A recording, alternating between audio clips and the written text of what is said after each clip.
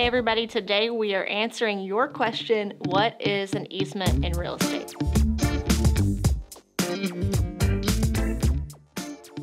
I'm Tiffany Webber, a real estate attorney in Mooresville, North Carolina at Thomas & Webber, and we like to put out educational videos just like this one. So if you like to be in the know about all things real estate, make sure you subscribe to our channel. All right, let's get down to the basics. We're just gonna define an easement here. An easement is the right to use somebody else's land. So that means there's a very important distinction. It's the right to use someone else's land. It is not ownership in land. That's where most people get really confused about it is do I own this? Do I just have the right to cross someone's land? So we want to get that out of the way right at the beginning. Now, easements can be created a lot of different ways, but by far the most common way to create an easement is by written agreement of the parties.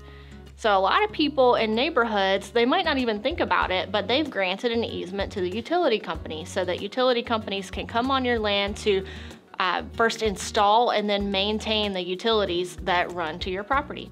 Other common types of easements are for shared driveways or giving someone the right to cross your land to get to a certain landmark, say a pond that they like to fish at.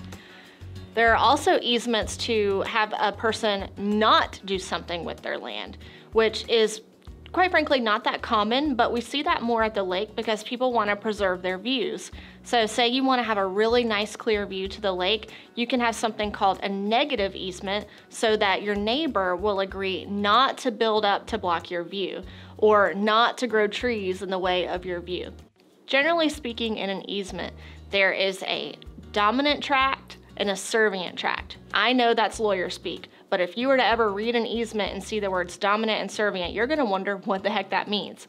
So the dominant tract is, think of, it's the person that's benefited or the land that's benefited by the use of the easement.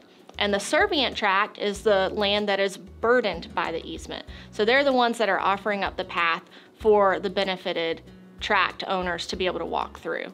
If you want to terminate a written easement, it's really important to know that it can only be terminated by the benefited party. That's another reason why it's important to know who's actually benefited under the easement. Because if you have granted an easement for someone to cross your property, you in most instances cannot just unilaterally take away that right that you've granted. If you need an easement or you are granting an easement, it is incredibly important that you call a real estate attorney because you have to make sure all of the legal formalities are observed so that the easement will be binding and run with the land if that's what you intend for it to do.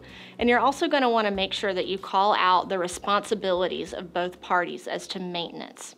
Now we are just scratching the surface on easements. I could talk for days, but I will not bore you here.